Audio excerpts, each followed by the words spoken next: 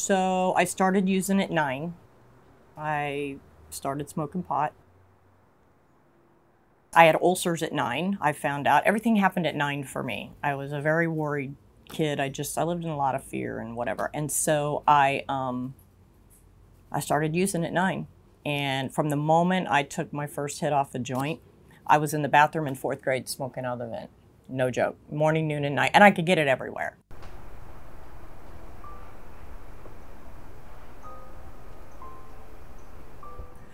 By 13, I was a full fledged blackout, drunk, addicted to everything.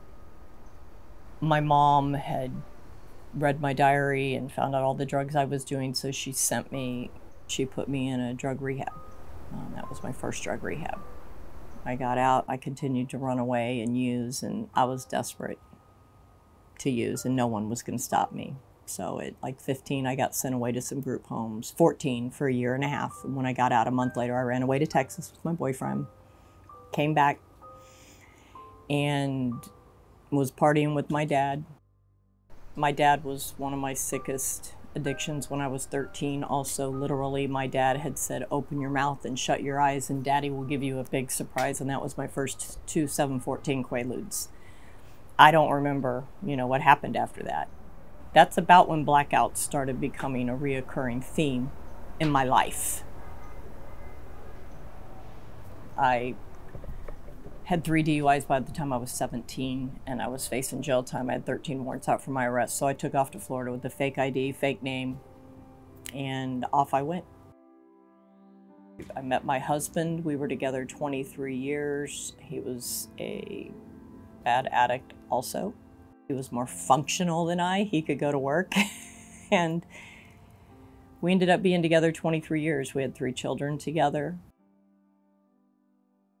I got clean at 27. My little boy was four and my daughter was one.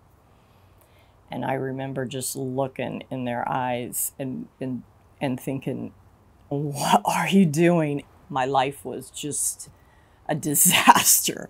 And so I remember looking into my little girl's eyes. That's what it took after a week bender and thinking, What are you doing, Angella? And I, I came to, and that's when I got at 27, I got clean. I got off the cocaine, I got off the alcohol, I stayed clean. I mean, I relapsed, I think, like after a year, but then I pulled together like seven, eight years clean and I became top employee, top salesperson. I would run motivational meetings. I started making a bunch of money in timeshare because I'm a real estate agent. And I was going to make up for the wreckage of my past. I looked to all this stuff to fix me.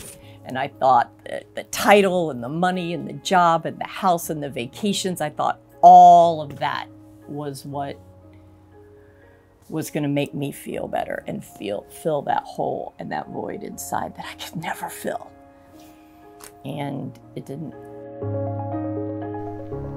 My life was a mess, but I just one minute at a time, I just kept hearing God say, hang on for dear life. Everything I ever wanted and needed was in the Word of God. I lived, breathed, ate, drank the Word of God. I went to 12 step meetings at Celebrate Recovery. I went to CR. I started going to 12 step meetings. I started working the steps. I got inner healing for a year and a half. Found freedom through the 12 steps of recovery, through Celebrate Recovery and NA and Inner Healing and all of that and the Word of God. He changed me, He transformed me. And um, I, I never looked back. I quit.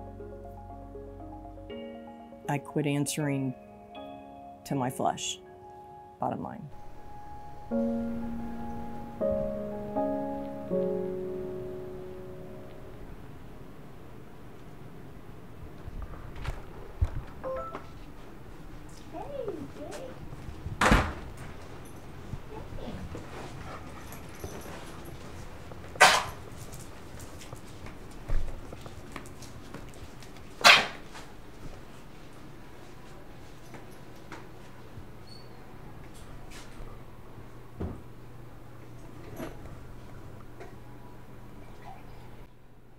What Armor Up is to me is it's a way to help women change their story, where what they thought was their greatest tragedy and their greatest devastation and there is going to be their greatest victory. When we make it out of the pits of destruction alive, when we make it out of hell alive, it's there's a fire.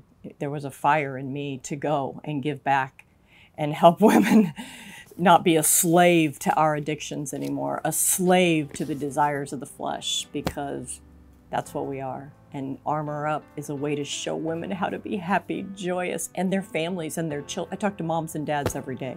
That is half my ministry, is talking to families on the phone and helping encourage them and support them and guide them and set healthy boundaries. And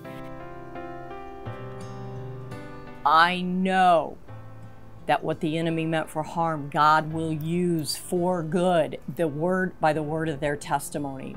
And the greater the difficulty, the greater the victory for them. And I know this that if I can make it out alive and free, I know the truth of been set free. Anyone can. And I will spend the rest of my life trying to help other women do the same. That's what Armor Up is. He's building an army of women with a heart for God that I believe are going to be a whole big part of everything he wants to do through Armor Up. This is not my victory, this is his victory. Amen.